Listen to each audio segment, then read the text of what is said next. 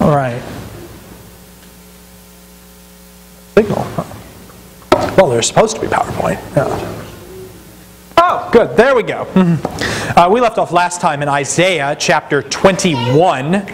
Isaiah 21. Um, and of course, this is, you know, the main point of these slides is just to kind of uh, remind us of general outline type things, mainly so I don't have to write it all up on the board over and over.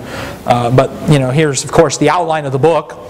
We're in the middle of the uh, section, the B section, where it says that the proud nations are humbled, chapters 13 through 27. And we're in the middle of a, a cycle of the na- oracles against the nations, in which the headings are somewhat cryptic and um, well, if it hadn't messed up, it would say 21, 1 through 17, Babylon and her allies. Uh, I don't know what happened there with the formatting, but I will fix that in the next edition, I'm tell, I assure you. Um, chapters 21 through 23 are some very cryptic oracles. Isaiah spends a lot of his oracles against the nations. He'll usually start out with a heading like, you know, this is the oracle against Babylon, or this is the oracle against Moab. You know, but then you get to chapter 21, he starts talking about the wilderness of the sea. Well, what's that? You know, the valley of vision. Well, what's that talking about? And, you know, well, I put up here that, you know, the wilderness of the sea, you read the oracle, it's pretty clear he's talking about Babylon because he says in the middle of it, fallen, fallen is Babylon in verse 9. And the same thing is true of chapter 22. The valley of vision is Jerusalem. Uh, but all of this is going on in a specific historical setting. Uh, we talked a little bit about you know Babylon and her leaders last time. Um, Basically, the main progression of chapters 21 and 22 is this giant Assyrian invasion of the Palestine area. And it starts when Babylon herself falls to Assyria, which was Judah's false hope. Isaiah has been warning against, you know, don't trust in Egypt for help. Don't trust them because they can't save you. But Babylon was another nation that they were thinking about trusting for help. And when Babylon falls to Assyria, well, you know, they no longer have that to rely on either. In verses 11 through 17, we have the Arabian strongholds that get overrun, Babylon's allies. And so the Assyrians basically knock over each barrier or buffer that exists between them and Israel. And by the time you get to chapter 22, we find that the city of Jerusalem herself is in danger of coming under attack. Um, which the historical setting of that probably lines up with what happens in the uh, chapters 36, 37, 38, and 39. Whenever Hezekiah was king, Sennacherib invaded the land of Palestine, captured some 40 something odd cities, shut Hezekiah up like a bird in his cage. That's the language used in his own annals. And then he collected a heavy tribute from Hezekiah. But that's where the Bible and uh, the Assyrian history start to differ a little bit. Uh, the Assyrians claim that they took the tribute and went home, and that was the end of it. Uh, the Bible claims that the Assyrians were driven home because an angel destroyed their entire army. Um, now, you be the judge, which makes more sense. Uh, did the Assyrians decide to suddenly be merciful to Hezekiah for revolting against him? Did they suddenly have a change of heart and you know leave his city intact and him alive on, and on the throne? Or did God see the need to intervene in history? Well, I mean, it raises some questions. You know, the Assyrians obviously have a motivation for why they would not mention getting destroyed in their records because, you know, the Assyrians never recorded their defeats. I mean, you can read their annals. That's the case all over the place. They never recorded when they lost a battle because that was embarrassing. It was all about, you know, how many battles we've won, how many people we've conquered. Um, in fact, you know, we're going to see in the oracle against Tyre, Sennacherib besieged Tyre for years and years, but Sennacherib never mentions that once in his annals because he didn't take the city. never captured it. Never won. Sennacherib only records the times he wins. So that, of course, he has a perfect win loss record. He can claim he's undefeated even when he's not. Uh, I'm, I'm, sure there are some sports teams out there that try to do that too, but we won't get into that. Um, um, Anyhow, we're going to pick up in verse 11 because that's where we left off. The Arabian strongholds getting overrun. Uh, the oracle concerning Duma. One keeps calling to me from Seir, Watchman, how far gone is the night? Watchman, how far gone is the night? The watchman says, Morning comes, but also night. If you would inquire, inquire, come back again. The oracle about Arabia. In the thickets of Arabia you must spend the night, O caravans of Dedanites. Bring water for the thirsty, O inhabitants of the land of Tema. Meet the fugitive with bread, for they have fled from the swords, from the drawn sword, and from the bent bow, and from the press of battle. For thus the Lord said to me, In a year, as a hired man would count it, all the splendor of Kedar will terminate, and the remainder of the number of bowmen, the mighty men of the sons of Kedar, will be few, for the Lord God of Israel has spoken. All right. Um, this is like you got two very short oracles back to back. Uh, in verses 11 and 12 is addressed to, some versions say Duma, and some versions say Edom. Um, now, what, what's the point of that oracle in the verses 11 and 12?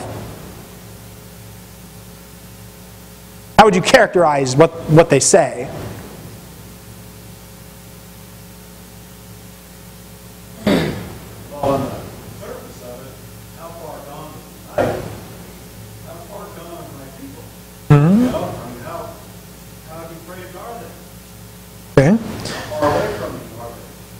Like it's really an oracle of judgment? I mean, you know, I mean, most of these other oracles have been, you know, God's going to come and smite you and destroy you. And I mean, is that what this says, really? You don't really get that impression from reading those verses there. Um, in fact, this, this whole two verses is this conversation that they're having with the watchman. What's a watchman, by the way? What does a watchman do? That stands on the wall and watches out for the enemy and whatever kind of uh, I guess storms, things like that, he sounds the alarm when there's danger. Okay, yeah, he's a guy that would, you know, he would stand on the wall or in a tower and he kind of a lookout, you know. He was the city's first way of getting in a, I mean, because, you know, you don't have sophisticated radar technology and things like that. You have the watchman, you know, use your eyes and see what's coming. And so they ask, you know, how much longer till the night is over? Is the night almost over, watchman? And of course, you know, Watchmen in the Bible is used in a military sense, but there's another group of people that are referred to as watchmen in the Bible, and they are prophets. The prophets, right. And so what's probably going on here is they're asking the prophet if the night is almost over. And what would you say about the answer he gives? Well, he said, morning is coming, but also the night. So that kind of indicates that, yeah, it's, it's we're, we're coming out of this, but there's more trouble coming. Yeah, he, he, gives kind of an ambiguous answer, doesn't he? He doesn't really give them a straight answer to their question. Uh, you know, morning is coming, but also night. And so it's, it's you know, there, there's definitely an element of, you know, judgment, but, you know, come back and ask again tomorrow, basically. Um, then we have the other oracle, verses 13 through 17, against Arabia. And what would you say the point of that is? Uh, what does the watchman see in verses 13 through 17? Well, Arabia is, is kind of a desert place, uh, an arid region in which the, there's not, I mean, there's not much there to sustain life. And so right. uh, when he says in the thickets of Arabia you must spend the night, I think that's probably a little bit of uh, God's sense of sarcasm there, you know, the thickets, yeah. the desert. Um, many. Yeah, it, it is kind of funny. You know, Arabia doesn't have any forests, so you know, and thickets. I, I, mean, I think the, the the gist of thickets here is more probably just off the beaten path. We're in the wilderness, yeah. is the idea. Done. Uh, we lived in the desert a long time. You can have thickets of cactus. Yeah, yeah, this is just a bow would be what it is. yeah, yeah, that's true. Uh, verse 14 tells them to do what? Water for the thirsty. So. Specifically, who, who would be thirsty? Who, who are they bringing water to? caravans of the Dedanites. Oh, so this is uh, was this like a, you know, was this just a group of friendly travelers who were, you know, hi, you know, we're in a caravan, we're just vacationing in this area. Was that why they were there?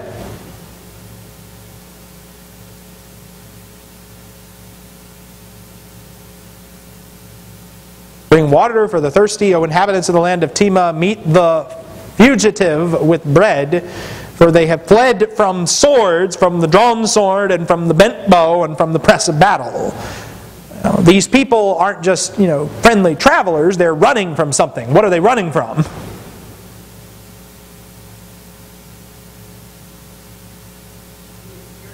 They're probably running from the Assyrians. That's what everybody else is running from in that time, yeah.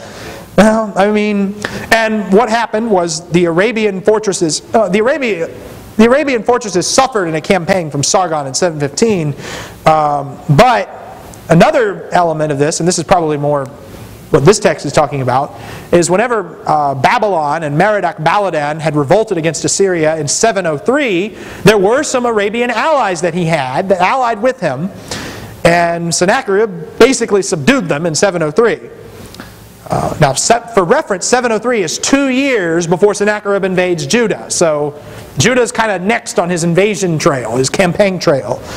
Um, and in verses 16 and 17, in a year as a hired man would count it, we've seen that expression before. It means that we're basically we're not gonna we're not gonna give them any more time than we have to. You know, the hired man is going to go exactly up to his deadline and not a minute further. In a year, as a hired man would count it, all the splendor of Kedar will terminate, um, and the remnant, or the remainder of the number of bowmen, the mighty men of the sons of Kedar, will be few, for the Lord has spoken. Uh, and again, implies that Yahweh, the God of Israel, is the one who is dictating Arabia's fates. Not Arabia's gods, but Israel's God. Um, and we've seen this kind of language before back in chapter 16 and verse 14 when we talked about Moab. He said, Within three years, as a hired man would count them, the glory of Moab will be degraded along with all his great population, and his remnant will be very small and impotent. Yahweh has spoken, implying that he is dictating their fate. Um, that's chapter 21. Any comments or questions? Anybody just confused by this chapter? Because this is one of I, these. Some of these oracles are kind of like you got to know the specific context to have a clue what Isaiah is talking about. Mark.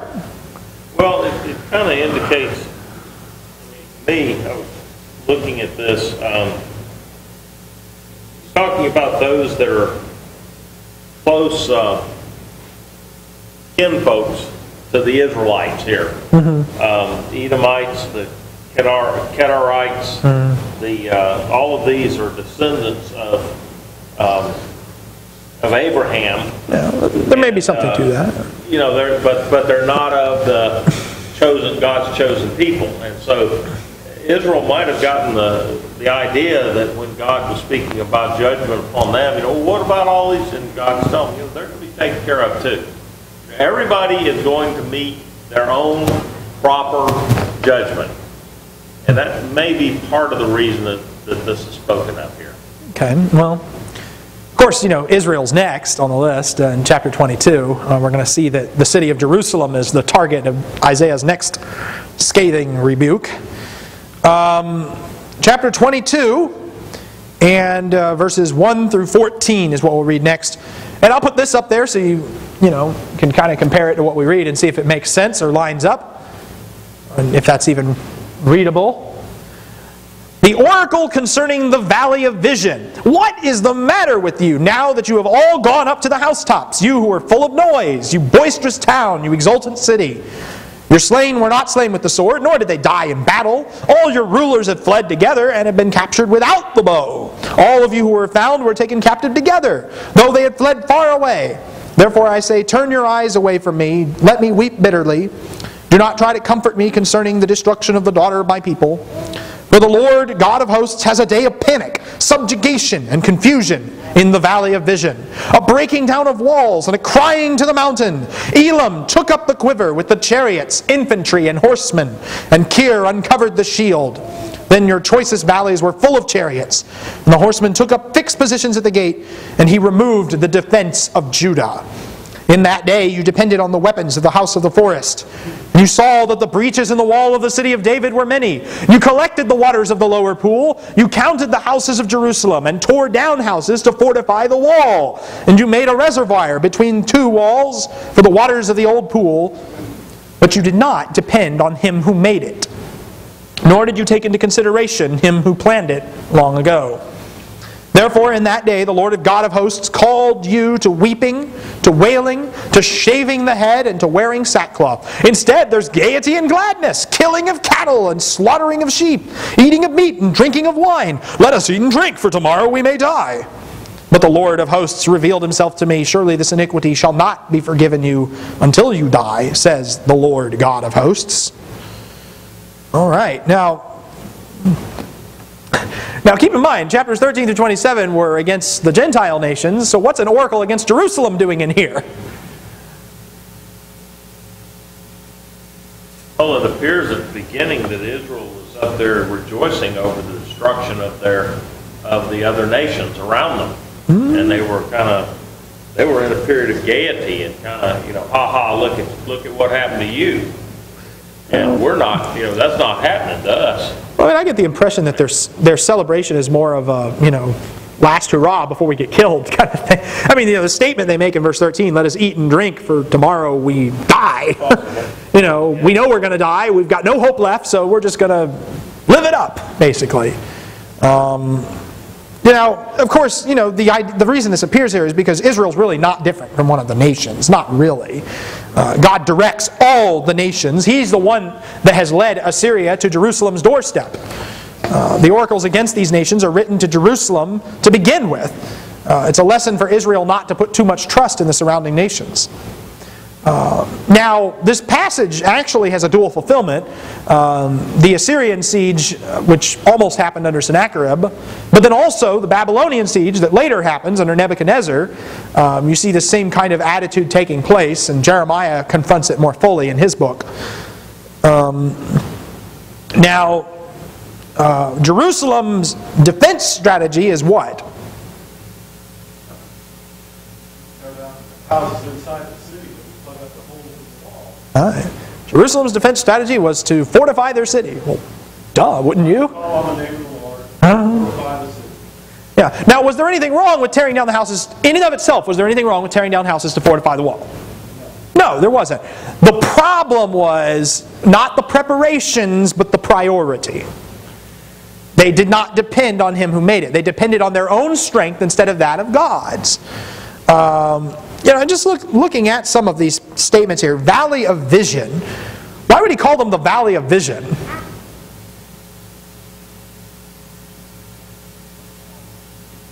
Got a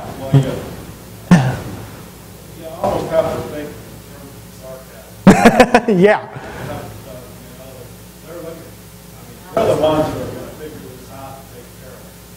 Uh-huh. You almost Well, vision seems to be her principal lack, doesn't it? Okay, I'm, I'm reading a, a book on submarine, on a submarine in World War II. And when they were trying to locate the enemy, they brought that submarine up as high in the water as it would go, and they got all the way up on the conning tower and the highest point of the submarine, and they piled it full of lookouts. And they were up there on the top, looking out to see if they could find the enemy. You don't go down in the valley have vision. I mean, you know, when you're driving in amongst the mountains in West Virginia, for example, all you can see is, you know, maybe 100 yards that way and 100 yards that way, and there's nothing else to see. But when you're up on the mountaintop, then you can look out and you can see the panorama and all the way around you. So here they are in the valley of vision. They're short-sighted. Mm-hmm. I mean, you look at this, you know, verse 1. yeah, it pretty much vision's the one thing they don't have. It's totally short sighted. Uh, they go up onto the rooftops. Well, what, you know, what, were- what were they doing on the rooftops? Were they going out to be lookouts? Is that what they were doing?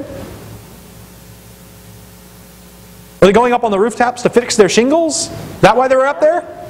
They're going up there to party. They were going up there to party. Well, I mean, rooftops were a typical place you would go to do that. They'd have a celebration. It wasn't like us with slanted roofs. They had flat top roofs. Um, a lot of partying going on. Verse 2 says, You're slain were not slain with the sword. You know, because the reason you lose this fight isn't because you got stabbed, it's because you were spent all night partying on the rooftop. That's your problem. Uh, Isaiah describes in verses 3 and 4, he describes captivity like it's already happened. He doesn't participate in the celebration. Instead, he weeps at it. You know, he and he identifies more with God's suffering. Don't try to comfort me concerning the destruction of the daughter of my people, verse 4. Um, verses 5 through 8, we have kind of a, a day of judgment. God has a day, just like we've seen the day of the Lord come up earlier in Isaiah. Um, he brings Elam into it, Elam taking up the quiver. Now, there's no actual evidence that Elam was literally involved in Sennacherib's army, but you know, there's probably some figurative ways to understand that. The city that was, verse, verse 7, the city that was full of noise is now in a valley that is filled with chariots. Uh, the city is helpless. Jerusalem's defense has been removed. She has been surrounded by this vast military, and now she has nowhere to run. And then moving on from there, their response was to depend on the weapons of the house of the forest. Solomon's house from 1 Kings chapter 7, which it's kind of interesting to think about that because you know, Solomon had one, two of Solomon's biggest building projects in his lifetime were one was the temple, the other was the house of the forest of Lebanon, which was his house. And it was, you know, the floor plan was twice the size of the temple and, you know, took twice as much time to build and all this other, you know, all this resources and grandeur dumped into it. Oh, Solomon built a very beautiful temple for the Lord, but he built an even more beautiful house for himself. Uh, Solomon's house was a lasting monument of what it meant to trust in self instead of God, and invested far more time and energy in self. Uh, so they bring out the weapons of the house of the forest. They re, they tear down houses. They need to fix the wall. Uh, this was a common strategy in the ancient world. It's not something that Jerusalem invented. Uh, they connect and they made a reservoir between two walls from the waters of the old pool. Now that's actually a reference to something Hezekiah did in 2 Chronicles 32. Um, in 2 Chronicles 32 in verses uh, beginning in verse 2, when Hezekiah saw that Sennacherib had come and that he had intended to make war on Jerusalem, he decided with his officers and his warriors to cut off the supply of water from the springs which were outside the city, and they helped him. So many people assembled and stopped up the springs and the stream which flowed through the region, saying, Why should the king of Assyria come and find abundant water? He took courage and rebuilt all the wall that had been broken down and erected towers on it, and built another outside wall, and strengthened the Millo in the city of David, and made weapons and shields in great number which corresponds rather well with what we just read in Isaiah. Hezekiah makes these fortifications and he, you know, he makes the reservoir to cut off the water supply outside the city so that the Assyrians don't have any drinking water. Um, now, you know, again, the point, the problem wasn't that Hezekiah did these things, that these things were wrong to do. The problem was the attitude and the motivation that existed within doing these things, of not trusting God first. Now, to Hezekiah's credit, he does eventually trust God. We see this in chapter 36. So, you know, don't want to razz on him too hard, but done.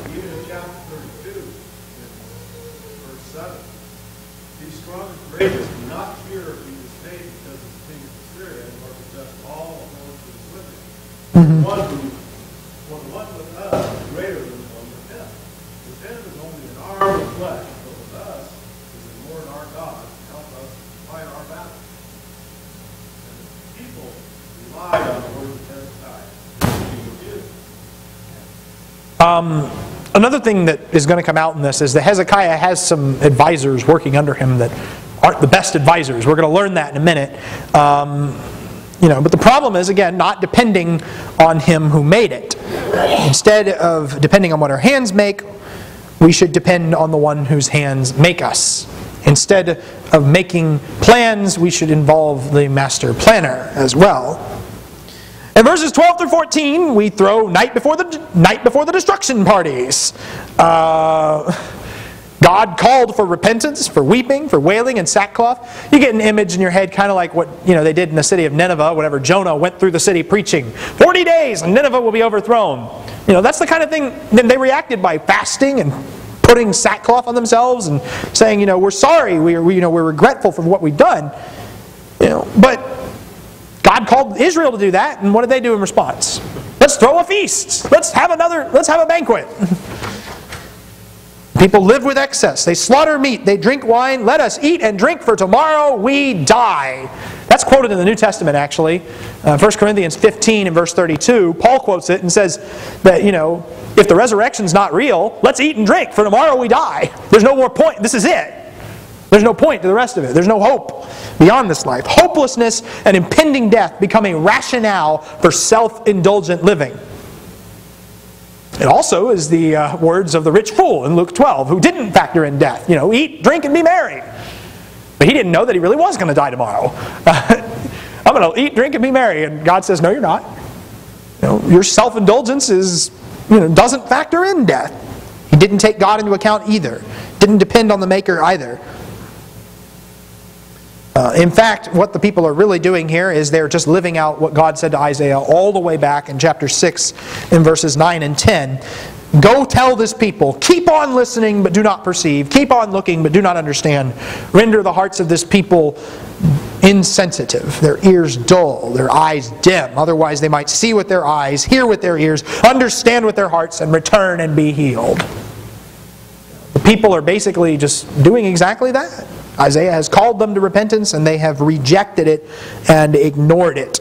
Their behavior is classified as unforgivable. This iniquity will not be forgiven you, verse 14. Because, well, you know, it's like Numbers 15 talks about. There's two kinds of sin. There's the kind that was unintentional, that you could be forgiven of. And then there was the high handed sin, the sin that said, you know, I don't want anything to do with God. I'm going to do things my way. I don't care what God says. God says there is no forgiveness for that kind of sin. It is a sin. He has basically blasphemed God. He must be put to death, cut off from the people. Uh, you'll notice also death kind of bookends this section. Uh, you know, verse 2 talks about, you know, they didn't die in the battle. They weren't slain with the sword. Here in verse 13 and 14, let us eat and drink, for tomorrow we die. This iniquity will not be forgiven until you die. Um, so, I mean, death is all around in these first 14 verses. Any comments or questions up through verse 14? All right, now we get to verses 15 through 25, the second part of this. Shebna and Eliakim. Thus says the Lord God of hosts Come, go to this steward, to Shebna, who is in charge of the royal household. What right do you have here, and whom do you have here, that you have hewn a tomb for yourself here? You who hew a tomb on the height, you who carve a resting place for yourself in the rock. Behold, the Lord is about to hurl you headlong, O man. He is about to grasp you firmly and roll you tightly like a ball to be cast into a vast country. There you will die, and there your splendid chariots will be, you shame of your master's house. I will depose you from your office, and I will pull you down from your station. Then it will come about in that day that I will summon my servant Eliakim, the son of Hilkiah I will clothe him with your tunic and tie your sash securely about him. I will entrust him with your authority, and he will become a father to the inhabitants of Jerusalem and to the house of Judah. Then I will set the key of the house of David on his shoulder. When he opens, no one will shut. When he shuts, no one will open. I will drive him like a peg in a firm place, and he will become a throne of glory to his father's house. So they will hang on him all the glory of his father's house, offspring and issue, all the least of vessels, from bowls to all the jars. In that day, declares the Lord of hosts, the peg driven in a firm place will give way. It will even break off and fall, and the load hanging on it will be cut off, for the Lord has spoken. Okay, so we got these two characters here Shebna and Eliakim. Who was Shebna? Who is this guy?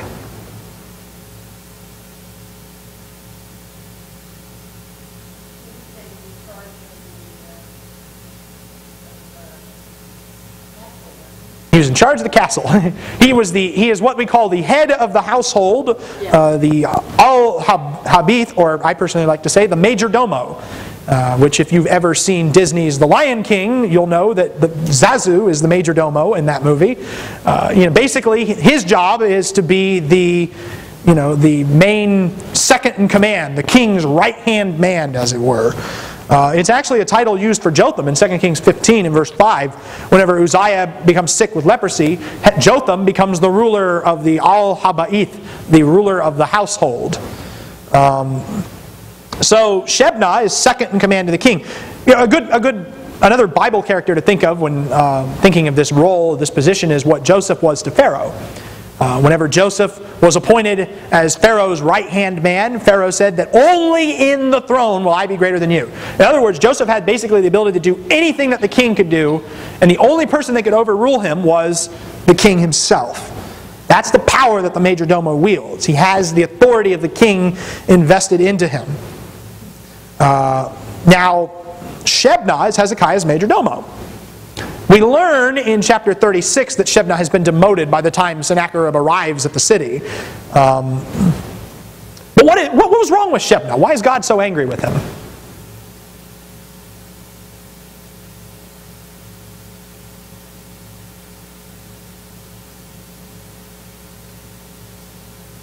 Shebna is uh, making plans, and he's kind of making plans for his burial to be a glorious thing, and, you know, he's going to be somebody, and he's going to leave a legacy behind him, and all men are going to remember him, and this kind of a thing seems to be the case here. And mm-hmm. Really, God is kind of more or less telling him, you know, you're going to be like Ozymandias, you know, you know, be a- maybe a pillar and a column that says, you know, Ozymandias, but who is he?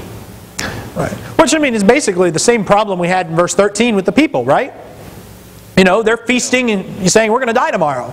It's the same thing here. He's basically saying that, you know, no, I'm going to die, so I'm going to plan for my death instead of the nation's life. He builds a special tomb for himself, a glorious tomb. Uh, and so, in response, what does God do? Literally, he hurls a hurling, he grasps a grasping, and he winds like a, a winding like a ball. Shebna is going to be tossed aside like an old rag. Uh, Kind of like with Jezebel and and Ahab when they died. You know, They Yeah. they were just kind of thrown out and eaten by the dogs, and the only part of Jezebel left was the palms of her hands. yeah. That Jezebel was palms of her hands were left? Uh, Ahab. That was Jezebel. Jezebel, they left nothing but bones. They We're let, out the window. Yeah, but Jezebel, they left nothing but bones, and they kind of, you know, they just devoured everything else, and they couldn't recognize her. Uh, but I mean, regardless, it's not a happy thing to say about somebody.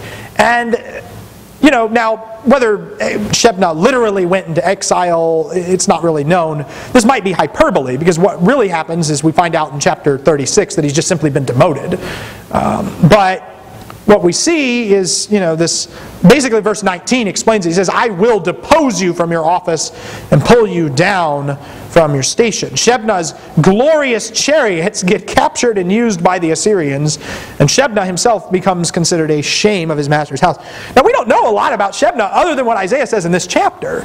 Uh, how would you like to have this epitaph written about you, right? like, oops. But then Shebna's replacement comes up in verses 20 through 25. Who is Eliakim?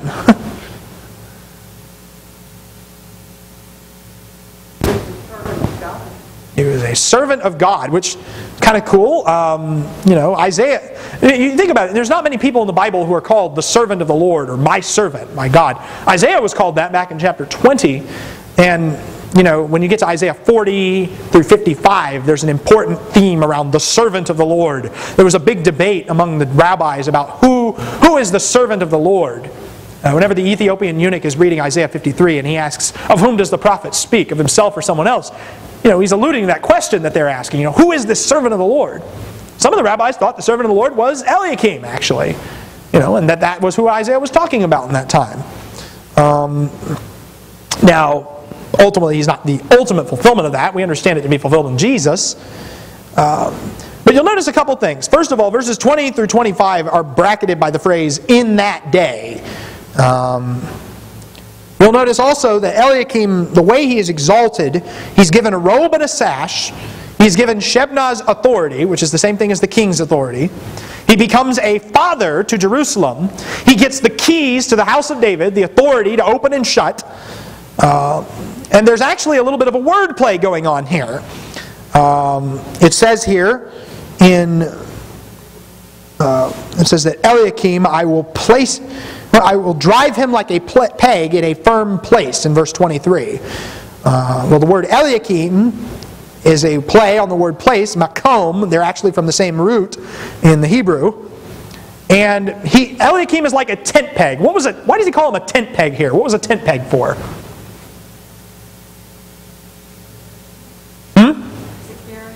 Securing a tent. It was basically the foundation of a tent in some respects. Hmm? Stability. You know, it's like a Zechariah 10:4. You know, draws a parallel between a tent peg and a rock foundation. Um, in Zechariah 10:4, what was it? Where it mentions that from them will come the cornerstone, from them the tent peg, from them the ruler of battle, from them every ruler of all them together. Now, uh, also, verse 23, he becomes a glory to his father's house, which is contrasted with the fact that Shebna is a shame to his father's house in verse 18. Instead of being a disgrace like Shebna, Eliakim wields authority to bring glory. Uh, verse 24 is a positive statement. They're going to hang all the glory of his father's house on him, stressing his dependability, the responsibility of his house will be placed on him. And then verse 25 ends with a warning because the tent peg can still give way, because trust in God still ultimately needs to trump trust in man. Now, with the five minutes we have left, are there any other comments or questions before I jump into this next thing? Um, just things you want to notice about chapter 22? All right, now there is a one instance in the New Testament where I definitely think this passage is being alluded to in Matthew chapter 16. Uh, so we'll go there just now.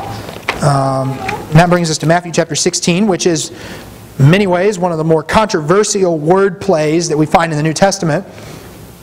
Uh, when Jesus, beginning in verse 13, when Jesus came into the district of Caesarea Philippi, he was asking his disciples, Who do people say that the Son of Man is? They said, Some say John the Baptist, others Elijah, still others Jeremiah or one of the prophets. He said to them, But who do you say that I am? And Simon Peter answered, You are the Christ, the Son of the living God. Peter said to him, Blessed are you, Simon Barjona, because flesh and blood did not reveal this to you, but my Father who is in heaven. I also say to you that you are Peter, and on this rock I will build my church, and the gates of Hades will not overpower it. I will give you the keys of the kingdom of heaven, and whatever you bind on earth shall have been bound in heaven, and whatever you loose on earth shall have been loosed in heaven. And then he warned the disciples that they should tell no one that he was the Christ. Now, what does that have in common with Isaiah 22?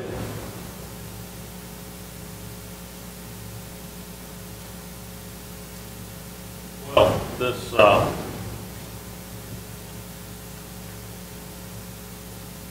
giving him the authority here, basically, over the, the the binding and the loosing, and he's giving uh, Hilkiah, Hilkiah, Eliakim. Eliakim, I'm sorry, son of Hilkiah, Yes. basically the same kind of authority.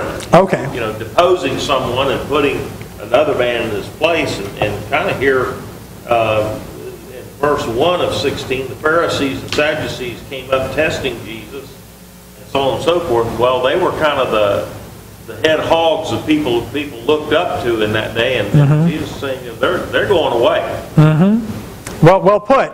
Uh, you know, we got some parallels. Both of these are commissioning texts. Uh, God commissions Eliakim to replace Shebna. God commissions Peter, and I do think that Peter is representative of the twelve other, all twelve apostles here. Both passages mention keys. What are keys for? Open the door. Opening and closing. You know, the person with the keys decides who gets in and who doesn't. You know, who goes in, who comes out. Uh, you'll notice there's a parallel between the actions of opening and shutting and binding and loosing. There's a definite parallel there. Uh, both passages involve a word play, Eliakim and place, and Peter and rock. The word for rock in Greek is Petra. Um, and both individuals are acting as foundations. And here's the part where you, you, know, you get into trouble because you know, people have capitalized so hard on trying to find every way possible to make Peter not be the rock that they miss this important point. That the church is built on the foundation of the apostles and prophets, Christ Jesus himself being the chief cornerstone, and that the 12 foundation stones within the heavenly Jerusalem herself are, in fact, the 12 apostles of the Lamb, Revelation 21 14. There is no problem with seeing Peter as the rock in the same way that there was in seeing Eliakim as the tent peg. Um, and the fact that Catholicism has abused this passage is no reason to just pendulum swing in the other direction. Is what I, uh, at least that's my thought on that anyway. Um, now, uh, all of this to say, you know, what does this tell us about apostolic authority, the apostles' authority? Came directly from God, Came directly from God, okay? not to be, uh, not to be questioned. Right? Might we say that they are, in some sense, Jesus' major domos, the heads of his household? You know, that only in the throne is he ultimately greater than them in terms of authority, in terms of what he has the right to tell people to do.